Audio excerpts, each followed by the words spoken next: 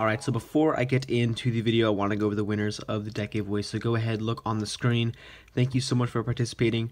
Um, and also make sure to email me using the email that's in my About tab so we can get into contact and I can send you the deck.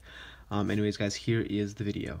So to start it off, um, let's say we take this deck of cards and you could have the spectator pick a card from the middle. So it can be a random card. Let's say this one right here. It does not matter which one it is and I'm going to show you guys. I'm not going to look at it here. So Let's go ahead. I'll tilt the card a little bit. Hopefully you guys got a glimpse of that. Your card goes in the middle and then mix it up a little bit like this. And the whole thing is that your card is somewhere in the middle of the deck. And as you can see as well, all the cards are face down. But when I flip the deck over and snap my fingers, your card should now reveal itself to us. It should be, as you can see, there's only one card that's face down in the deck. And I flip it over and show you guys. This card happens to be your card, the 5 of spades. So this is a trick. If you want how to do it, don't forget to stick around for the tutorial. Alright, so the good part about this trick is that it is not necessarily too difficult.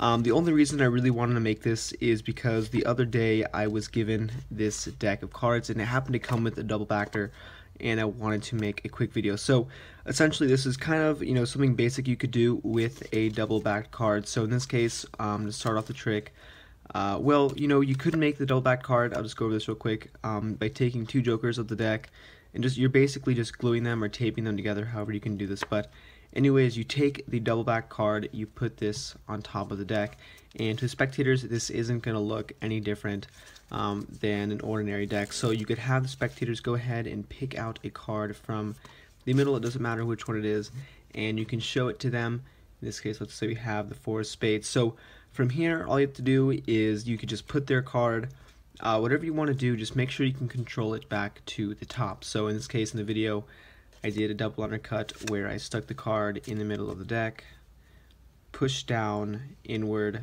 causing a thumb break here, and then I took my pinky of my left hand, I took half the deck, moved that to the top, and then took the rest of the cards below the break and moved that to the top. So from here, their card is going to be on top, but the face or the double backer is going to be somewhere in the middle after you've done your uh, double undercut. So the thing you have to make care or be sure of is you can show the spectators the deck is, and you can kind of, as you're saying, you know, the card is lost in the middle, you can say, and you also notice that all the cards are face down.